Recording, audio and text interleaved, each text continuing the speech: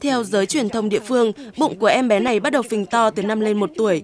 Tuy nhiên, lúc đó sức khỏe của bé không có nhiều dấu hiệu bất thường, nên cha mẹ em chỉ nghĩ rằng sở dĩ bé bị như vậy là do đầy bụng. Chỉ đến khi bụng em cương cứng, phình to như một quả bóng, gia đình mới hốt hoảng đưa con đến bệnh viện để khám.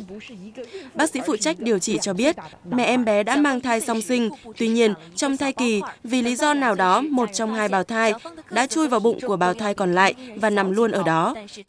Theo các nhà khoa học, trường hợp thai trong thai như thế này rất hiếm gặp, tỷ lệ xảy ra chỉ là 1 trên 500 nghìn. Sau khi tiến hành kiểm tra cẩn thận, em bé này đã được phẫu thuật để lấy ra người em sống ký sinh trong bụng mình. Trước khi chết lưu, người em song sinh trong bụng đã lớn chừng 20 cm, có đầy đủ các chi và ngón tay, chân, chiếm đến 2 phần 3 ổ bụng của cậu bé, rồi mới ngừng phát triển. Hiện tại, sức khỏe của bé đã dần hồi phục, chỉ chờ ngày được ra viện.